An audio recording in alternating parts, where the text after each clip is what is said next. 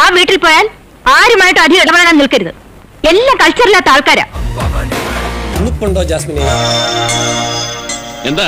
നാവ് മരച്ചു പോയത് എനിക്ക് ഉളുപ്പുണ്ടോ ജാസ്മിനെ? നിങ്ങൾ അതിര് കിടക്കുന്നു.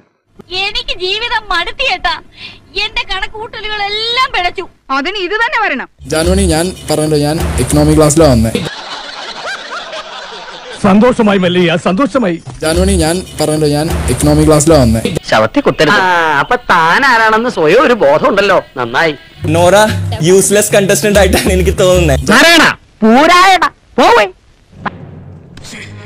ജിന്നു ചേട്ടാ കള്ളനെ വിളിക്കേണ്ടി ചേട്ടാ അനാവശ്യം പറയരുത്. അനാവശ്യം പറഞ്ഞാൽ നീ എന്ത് എന്റെ സ്വഭാവം മഹാ ചീത്തയാ. നന്നാക്കാൻ നിന്റെ മറ്റവനെടുത്തെന്ന് പറ. കളിക്കല്ലേ?